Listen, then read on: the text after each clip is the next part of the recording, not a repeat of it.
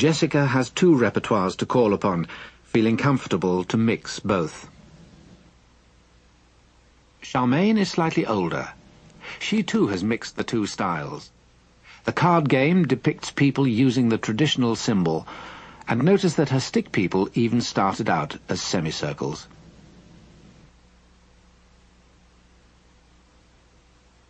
The kangaroo and the trees are from a side-on view. Sherilyn feels she wants to draw all her people in the traditional way. These people are women, as revealed by the digging sticks. In Aboriginal society, women are gatherers of food.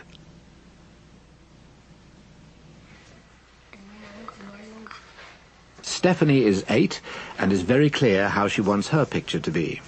She's confident in her use of symbols and colours, reflecting life around her, in this case the social campfire gathering. She uses traditional symbols.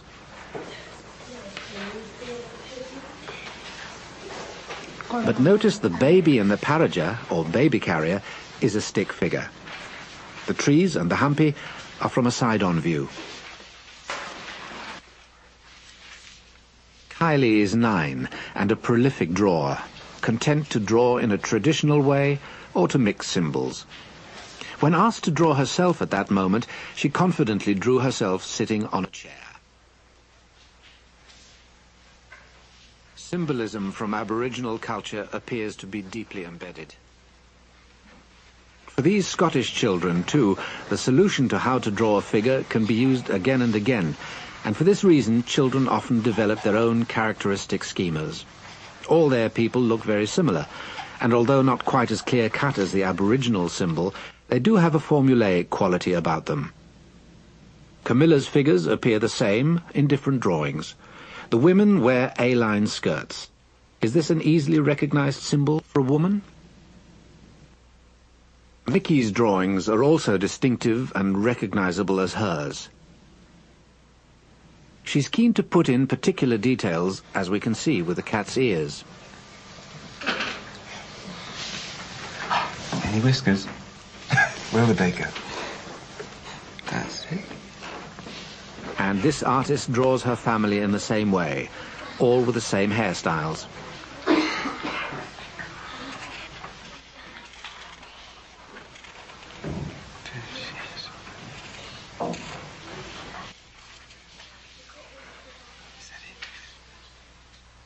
Could this be influenced by the images and symbols she sees around her?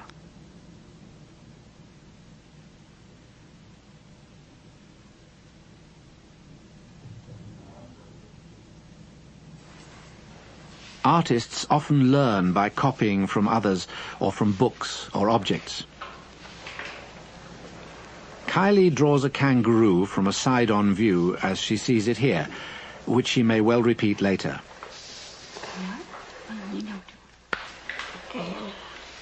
She clearly has schemas for many of the familiar things she sees around her. Honey ants, a lizard, a car a mixture of symbolic and Western styles. The kangaroo and snake are interesting. One object is behind another, often something children are not keen to do. This strong desire not to lose one object behind another, occlusion as it's known, can be demonstrated and has been the source of many interesting experimental studies. Can you draw me a picture of the red and the green ball?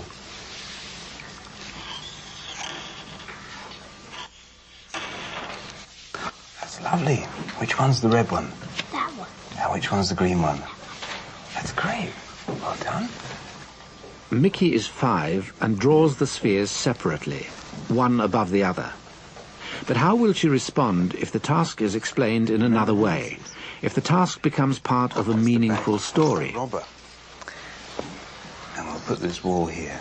And the policeman's chasing the robber, right? And he's going to run away right behind the wall and he's going to hide there. Can you draw me a picture of the robber hiding behind the wall?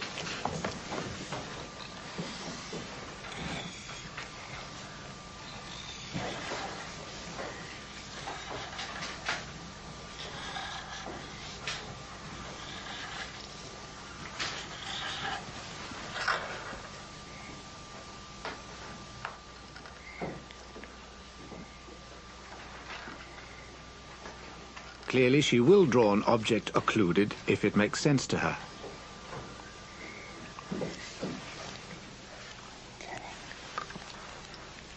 Ashraf is eight. When presented with the same sphere task, he has no difficulty with occlusion. How will children in Australia react to the same task?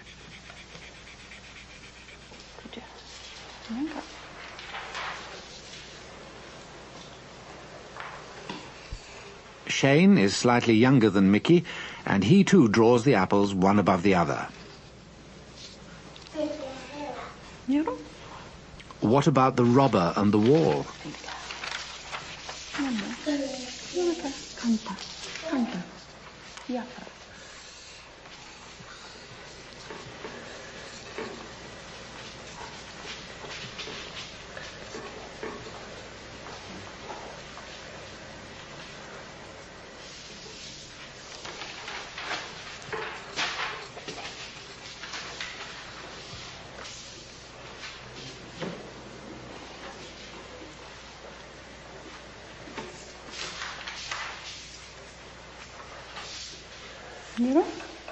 Shane has decided he doesn't want to occlude the robber.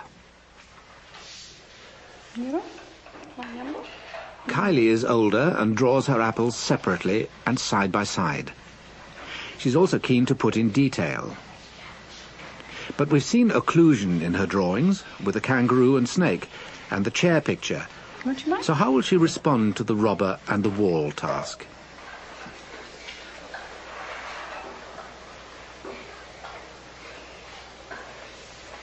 Like Mickey in Dundee, Kylie will draw an object occluded if the context makes sense to her. So does it all depend on how the task is presented?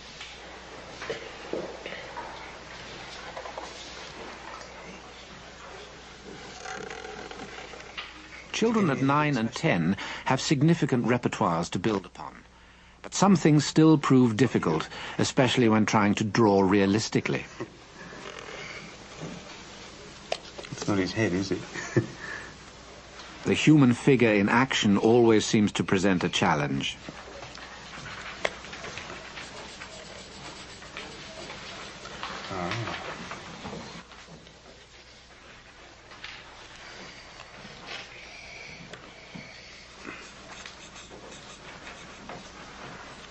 That's great.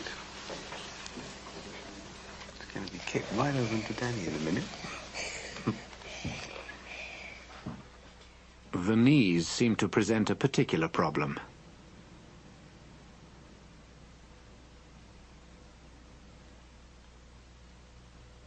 Since the early tadpole figures, much progress has been made, and children develop particular styles of drawing personal to them. But why does it matter to these children in Dundee to be able to draw realistically? Is it a cultural expectation that a good drawing is a realistic one? Certainly their attempts to draw in this way seem to give them problems. The Aborigine children are freed from this constraint. It never seems to be an issue for them. They can confidently call upon another symbolic repertoire with understood and accepted meaning. We're all influenced by the images and symbols of the culture around us, and we've seen this reflected in the drawings of children. But does cultural influence merely sit alongside a universal development process?